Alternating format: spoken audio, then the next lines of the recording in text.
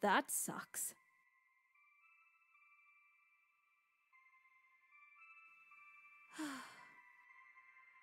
Luna, I have a question for you. Beep! Good morning, Sunati. How can I help? I talked to a girl today who can't use mods. Why mightn't she be able to use them? How old is she? Um, maybe a year or so younger than me. I saw her in a college hoodie once. She was so cute. Is she pregnant? What? No! This it is likely that she's used too many mods over the last 49 days, and she needs a break as per government policy. Huh? No, I don't think that's it. I don't think she's ever been able to use mods. Luna, are there people like that? People who can't use mods at all? Of course! People with Egan syndrome. These people have highly sensitive immune systems and their bodies reject the nanobots used to transfer mods. So, she can't use mods because her immune system is too good? Possibly. Well, that sucks. I've never really thought about it, but I suppose I'm pretty lucky.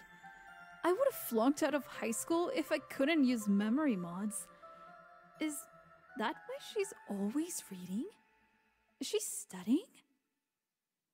I guess she'd have to memorize her coursework the old fashioned way. That can't be easy. She's amazing. I hope I get to see her again soon. But I don't see her at the station the next day, or the day after that. It's only on Friday that I see her again.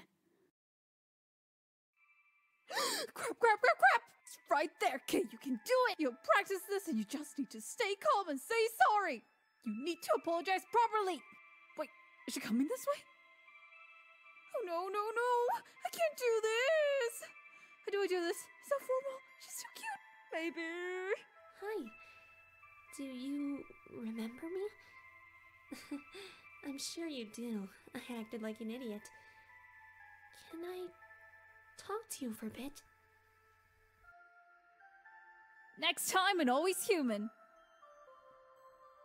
Sunati finally gets to meet the girl she has always watched. But how will she react to this admiration?